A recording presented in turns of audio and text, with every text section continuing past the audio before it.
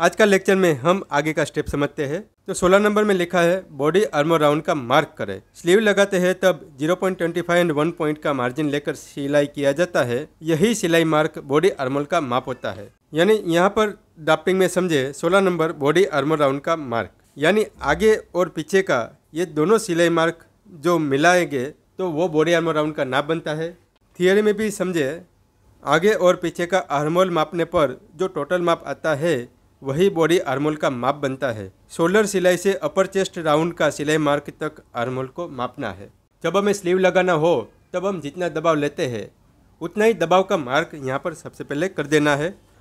Sleeve लगाते वक्त हम 0.25 एंड 1 पॉइंट का दबाव लेते हैं तो यहाँ पर आपको उतना मार्क कर देना है।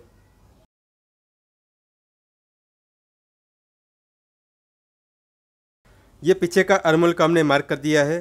अब हमें आगे का आर्मल का शेप के अकॉर्डिंग 0.25 एंड 1 पॉइंट का मार्जिन लेकर ये सिलाई मार्क करना है।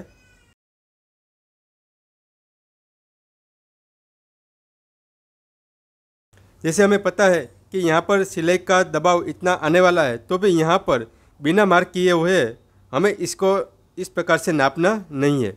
जैसे आपने बहुत ज़्यादा प्रैक्टिस की, आपका अनुभव बहुत ज़्यादा हो जाए, तब आप ये सब का मार्क ना करते हुए यहाँ पर डायरेक्टली आप नाप सकते हैं।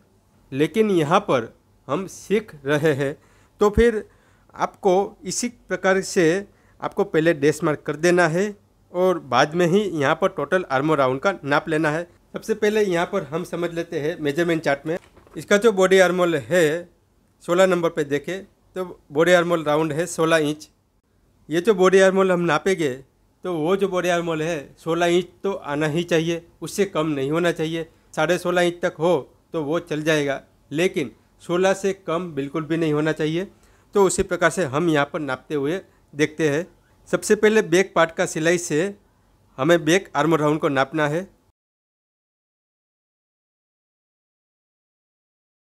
तो यहाँ पर नापा यह है साढ़े सात और एक पॉइंट।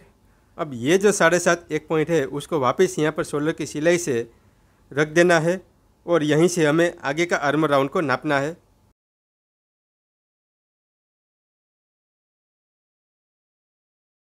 तो देखिए, यहाँ पर बॉडी आर्मर राउंड का नाप आया है 16.25 सवा सोलह इंच।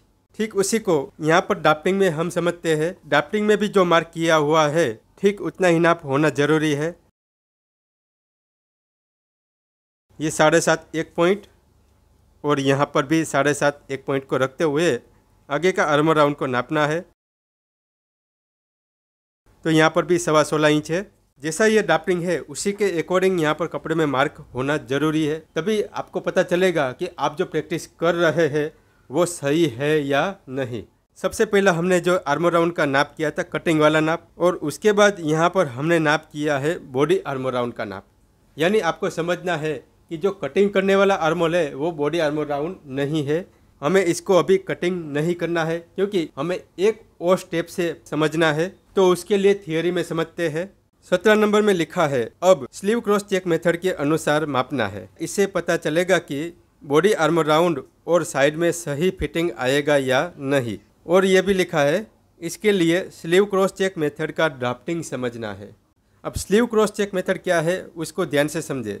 यहाँ हमें इस तरह से मार्क करना है कि जैसे हम बाजू कटिंग करने के लिए मार्क करते हैं। यानी ये जो ड्रॉ किया है, वो वही है जो हमें आगे जाकर स्लीव कटिंग करना है। हमारा जो बेसिक कटिंग होता है, उसमें यही होता है कि बस यहाँ पे आर्मो राउंड का नाप हो गया, अब सीधा हम कटिंग करने लगते हैं। उसके बाद स्लीव कटिंग करने के बाद जब हम सिलाई करते हैं, तब बाजू का शेप होता है, वो कितना क्रॉस आता है, कितना सीधा आता है, वो हमें बाद में पता चलता है। लेकिन उसी को हम स्लीव का कटिंग करने वाला मार्क पहले से करके समझ ले तो हमें पता चलेगा कि आर्मर राउंड में सही फिटिंग आएगा या नहीं। तो उसके लिए यहाँ पर हमने जो थियोरी में समझाया है, ठीक उसी तरह आपको फॉलो करना है। इसमें लिखा है अपर चेस्ट बॉडी माप 36 इंच तक है तो बाजू की लंबाई साढ़े चार इंच के साथ मोहरी का माप ले। यानी ये जो स्लीव क्रॉस चेक मेथड है, वो सिर्फ़ शॉर्ट स्लीव का मेज़रमेंट आपने लिया हो, उसी में नापा जाएगा। तो जैसे यहाँ पर हमने शॉर्ट स्लीव का नाप लिया है, वैसे ही आपको हर कोई कस्टमर का, चाहे उसको ऑफ़ शोल्डर बनाना हो स्लीवलेस बनाना हो तो भी शॉर्ट स्लीव का नाप उनका ले ही लेना चाहिए। अब हम आगे का पॉइंट समझते हैं। इसमें लिखा है अपर चेस्ट बॉडी माप 36.50 से साढ़े अड़तीस इंच है तो बाजू की लंबाई पाँच इंच के साथ मोहरी का माप ले। और आगे लिखा है अपर चेस्ट बॉडी माप 39 इंच या उससे ज़्यादा है तो बाजू की लंबाई साढ़े पाँच इंच के साथ मोहरी का माप ले। और लास्ट में लिखा है, यहाँ हमें इस तरह से मार्क करना है कि जैसे हम बाजू कटिंग करने के लिए मार्क करते हैं तो अब आगे समझते हैं स्टेप बाय स्टेप मार्किंग को फॉलो करें। तो पहला नंबर है, पहले कटिंग करने का मार्क करें। यहाँ पर हमें साढ़े चार इंच की लंबाई का माप लेना है। तो पहले यहाँ पर थोड़ा दूरी पर ये जो मार्क किया है, उसे थोड़ा नीचे की ओर आपको एक टिक मार्क कर देना है। ये कटिंग करने वाला नाप हुआ, जैसे यहाँ एक नंबर में है ये कटिंग मार्क उसके बाद दूसरे नंबर में लिखा है, अब सिलाई मार्क करें। तो यहाँ पर दो नंबर में लिखा है सिलाई मार्क। तो यहाँ पर आपको एक टिक मार्क कर देना है। सिलाई मार्क हमने यहाँ पर zero point two five one point उतना ही लेना है तो उतना टिक मार्क कर देना है। और जो कटिंग करने वाला नाप है, वहाँ पर आपको एक सीधा मार्क कर देना है। अब तीन नंबर में लिखा है, अब बाजू की लंबाई का मार्क करें। बाजू की लंबाई यहाँ पर साढ़े चार इंच है तो हमें यहाँ पर साढ़े चार इंच पे मार्क करना है। जैसे इसमें समझाया, साढ़े चार इंच और यहाँ पर एक सीधा मार्क है। वैसे ही यहाँ पर एक सीधा मार्क कर देना है। अब उसके बाद चार नंबर में लिखा है, अब केप हाइट का मार्क करें। केप हाइट की ज़्यादा माहिती के लिए बाजू कटिंग का पेपर ड्राफ्टिंग देखें और समझे। यहाँ पर जिस प्रकार से ये जो हमें स्लीव काटना हो, उसी के अकॉर्डिंग यहाँ पर हमें समझना है। तो जैसे हम यहाँ पर इस प्रकार से इसको फोल्ड करें, ठीक उसी तरह यहाँ पे मार्क होगा।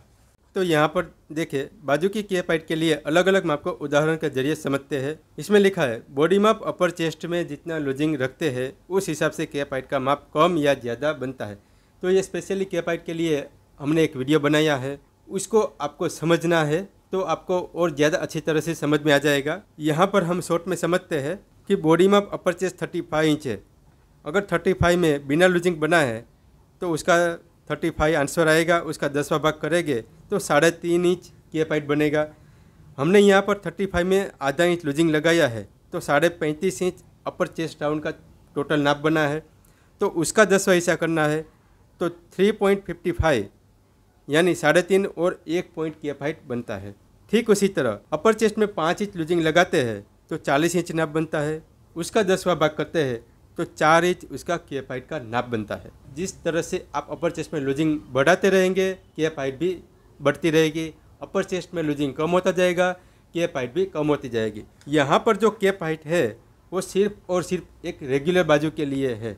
यानी हम जो क्रॉस हाथ का जो स्लीव बनाते हैं, वही यहाँ पर डिवाइड दस करते हैं तो वो केप हाइट बनता है। तो अब यहाँ पर हम स्लीव डापिंग में समझे। ये दो नंबर में लिखा है केप हाइट तो जहाँ पे ये जो कटिंग करने वाला नाप होता है, वहीं से ये केप हाइट का नाप लिया जाता है। साढ़े तीन और एक पॉइंट कटिंग मार्क से ही यहाँ पर लेना होता है। तो इसमें भी समझे, साढ़े तीन और एक पॉइंट ये केप हाइट है। केप हाइट का नाप भी कहाँ से लेना है तो यहाँ पे चार नंबर में देखे। यहाँ पर जो मार्क किया है, ये जो कटिंग करने वाला नाप है, उसी के ऊपर से यहाँ पर हमें मार्क करना है। तो ये स्लीव क्रॉस चेक मेथड यही है। बाजू कटिंग करने के बाद यहाँ पर ये जो सिलाई लाइन बनता है, वो कितना क्रॉस है? अगर ये जो सिलाई लाइन है, वो ज़्यादा इस प्रकार से क्रॉस अगर बता रहा है तो समझ लेना है कि यहाँ पर बॉडी का आर्मोल की तरफ़ से यहाँ पे जोल आएगा। यानी ये बॉडी आर्मर राउंड और अपर चेस्ट लूज हो सकता है, वो हमें बताता है। अगर ये इस प्रकार से सीधा आता है तो भी समझ लेना है कि यहाँ पर अपर चेस्ट का जो नाप है, वो टाइट हो रहा है, या फिर बॉडी आर्मर राउंड का जो नाप है, वो सोलह की जगह साढ़े पंद्रह इंच आया हो तो यहाँ पर ये सीधा सेप बनता है। लेकिन यहाँ पर थोड़ा बहुत मार्किंग करके हमें सिर्फ़ समझना है कि यहाँ पर ये जो क्रॉस आता है, वो कितना इंच तक आता है। पूरा का पूरा नॉलेज जब हम स्लीव ज्वाइंट करेंगे, तब पता चलेगा हमने short sleeve cross check method क्यों बनाया है और आपको क्यों समझा रहे हैं। अब हम आगे का पॉइंट समझते हैं। पाँच नंबर, उसमें लिखा है, अब बाजू की मोहरी का मार्क करें। तो साढ़े चार इंच की लंबाई पर बाजू की मोहरी का नाप है साढ़े बारह इंच। तो यहाँ पर हमें साढ़े बारह का आधा करना होता है, सवा छः इंच नाप बनता है। तो उतना ही नाप को आपको यहाँ पर भी मार्क कर देना है। जैसे यहाँ छः नंबर में बताया है, यहाँ पर और नीचे की लाइन पे भी आपको एक मार्क कर देना है। और इस प्रकार से आपको सीधा सेप कर देना है। अब उसके बाद सात नंबर में लिखा है, अब केप हाइट की लाइन पर जो सीधा मार्क किया हुआ है, वहाँ से बाहर की तरफ़ 0.50 इंच का मार्क करके उसको बाजू की मोहरी का मार्क के साथ ज्वाइंट करें। तो अब हमें यहाँ पर ये जो सीधा मार्क है, वहाँ से आधा इंच की दूरी पर एक मार्क करना है और यह मार्क को बाजू की मोहरी का मार्क से मिला देना है। तो जैसे यहाँ पर ड्राफ्टिंग में है, ठीक वैसे ही यहाँ पर मार्क बनना ज़रूरी है। अब आगे का पॉइंट समझे। ब्लाउज में आगे का आर्मर राउंड सात पॉइंट पचहत्तर एंड वन पॉइंट है। उसमें से ज़ीरो पॉइंट पच्चीस इंच माइनस करने पर साढ़े सात और एक पॉइंट रहेगा। शोल्डर की सिलाई से जो कटिंग करने वाला आर्मर राउंड है, जो सात पॉइंट पचहत्तर और एक पॉइंट जो नाप आया है उसमें से ज़ीरो पॉइंट पच्चीस माइनस करने पर साढ़े सात और एक पॉइंट रहेगा, पौने आठ और एक पॉइंट उसमें से पॉइंट पच्चीस माइनस करेंगे तो साढ़े सात और एक पॉइंट नाप आएगा। तो अब ये साढ़े सात और एक पॉइंट का नाप जो है, वो यहाँ से नापते हुए ये आधा इंच क्रॉस है उसी के अंदर आता है या नहीं, वो हमें देखना होता है। तो यहाँ पर नापते हैं, सबसे पहले साढ़े सात और एक पॉइंट को नीचे की तरफ़ आपको मिला देना है। अब मेजर टेप को घुमाए और देखें। तो यहाँ पर साढ़े सात और एक पॉइंट पूरा यहाँ पर आधा इंच का क्रॉस है, वहाँ तक आ रहा है। अगर ये सीधा मार्क और आधा इंच जो बाहर की तरफ़ मार्क किया है, वहाँ तक ये नाप अगर आ रहा है तो समझ लेना है कि ब्लाउज का फिटिंग बहुत अच्छा बनने वाला है। अगर यही मार्क आधा इंच से बाहर की तरफ़ इस प्रकार से अगर ज़्यादा चला गया होता तो समझे कि वो ज़्यादा गया तो यहाँ पर जब हम लास्ट में ब्लाउज का सिलाई करेंगे तब स्लीव का मोरी को जोड़ते वक्त इस प्रकार से क्रॉस सिलाई जाएगा। तभी हमें समझ लेना है कि यहाँ पर कस्टमर को सही से फिटिंग आएगा नहीं। तो यहाँ पर जो शॉर्ट स्लीव क्रॉस चेक में हम समझा रहे हैं, उसका मीनिंग ही यही है। सीधा मार्ग से आधा इंच के अंदर जो हमारा साढ़े सात और एक पॉइंट नाप आ रहा है, तभी ब्लाउज का फिटिंग अच्छा आ सकता है और ये कंप्लीट होने के बाद ही हम ब्लाउज के बैक पार्ट को कटिंग कर सकते हैं।